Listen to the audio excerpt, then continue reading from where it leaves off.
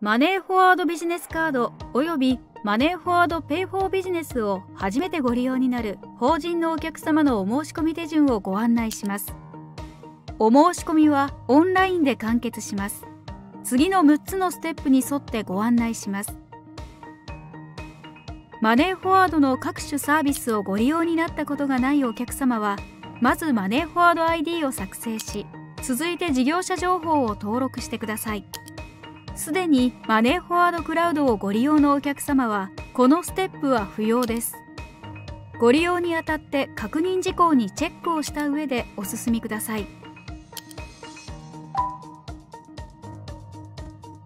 まずは法人情報を入力します。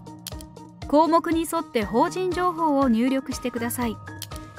1枚目に発行するカードの名義人利用上限金額等を設定してください。利用上限金額は後から変更ができます。実質的支配者情報の入力を行います。上場企業の場合このステップは不要です。誰が実質的支配者にあたるかについてはサポートサイトのチャート図をご確認ください。お申し込みを行う方の情報を入力します。お名前や生年月日住所をご入力ください。このステップはご本人様が入力する必要があります。この後お申し込みを行う方の本人確認へ進みます。本人確認はスマートフォンアプリにて行います。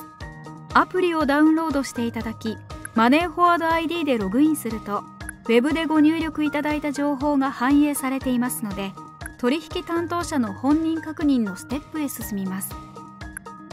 運転免許証やマイナンバーカードなど本人確認書類をいずれか1つご準備いただきアプリの指示に従って撮影してください。次に本人確認書類にある写真との一致を確認します。アプリの指示に従ってご自身の顔写真を撮影してください。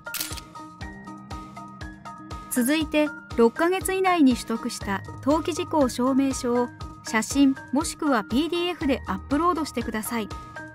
アプリからアップロードすることも可能です。以上で申請は完了となります。通常2営業日以内に審査結果をメールにてご連絡いたします。